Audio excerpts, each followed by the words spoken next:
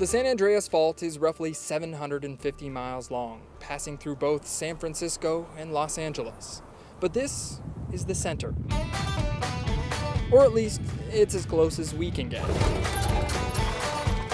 Hey, you guys. Welcome to Parkfield, California, self proclaimed earthquake capital of the world and home to the V6 cattle ranch. This part of the mountain basically is falling away from the fault. Alaska technically has more earthquakes than Parkfield, but according to Parkfield native John Varian, his hometown constantly has some of the biggest quakes.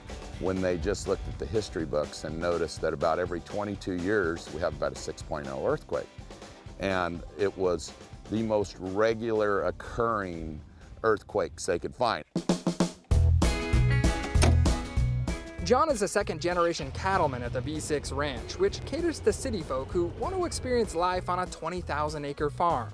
You'll find the V6 Ranch at the southeasternmost edge of Monterey County, but according to John, he won't be there for long. This part of the fault is not locked up, so it is sliding somewhere between a half inch and an inch every year.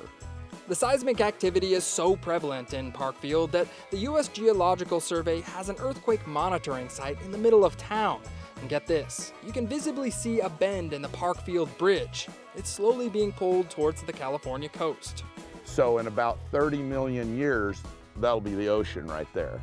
Has that part of California slides right past us. You got a little time until the ocean. A little bit. John says he does have future plans for surfing lessons, but for now, those visiting Parkfield and the V6 Ranch will just have to enjoy the pleasantries of rural living.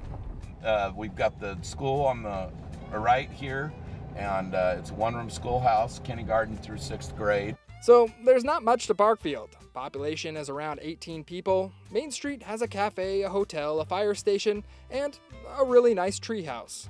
All in all, you can drive through this town in about, what, 45 seconds? yes, depending on your speed, maybe even less, but hopefully it takes you 45 seconds. Well, one can only guess why developers aren't flocking to a town nicknamed Earthquake Capital. The Richter scale here has hit 6.0 a few times in Parkfield, but according to John, it's not as bad as you think.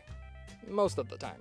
And so every time this fault's moving, we get ones and twos every single day. Hundreds of them. Is there a chance we could have an earthquake today? You might be having one right now, but you can't feel it. From the self-proclaimed earthquake capital of the world, Parkfield, California, I'm John Bartell. Hope to see you on the back road.